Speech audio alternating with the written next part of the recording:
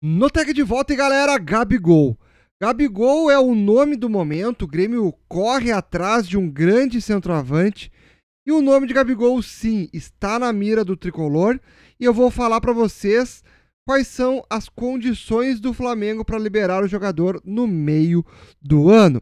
E galera, também quero falar para vocês da Bet das Arábias, que é o nosso patrocinador oficial e que vai estar dando um iPhone 15.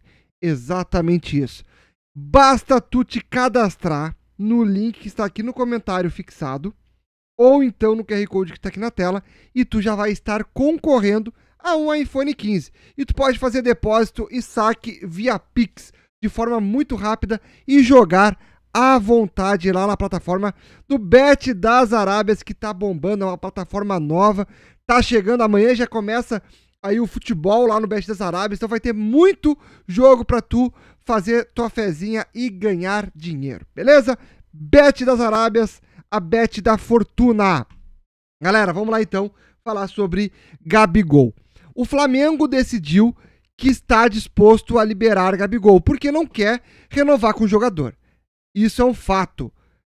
E foi divulgado pelo Vene Casagrande. O Flamengo não deve renovar com o Gabigol e não fará jogo duro para liberar. Porém, precisa de uma compensação financeira do clube interessado.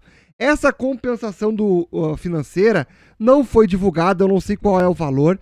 A gente sabe que a multa rescisória do Gabigol é absurda. É um valor absurdo. Porém, obviamente, ele não sairá agora, na metade do ano, pela multa rescisória. Isso jamais.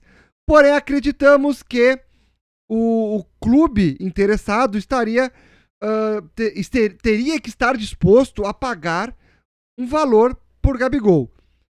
Porque o Gabigol tem um contrato com o Flamengo até o final do ano. E para o Gabigol sair do Flamengo, teria que pagar um valor. Multa rescisória é muito alto. Mas alguma parte, alguma, algum valor teria que ser pago. E aí que entra a questão: quanto que é? Qual é o valor? Será que o Grêmio estaria disposto a pagar? Será que nesse caso entraria Celso Rigo? Será que o Grêmio utilizaria dos seus patrocinadores, dos seus investidores, para tentar trazer Gabigol?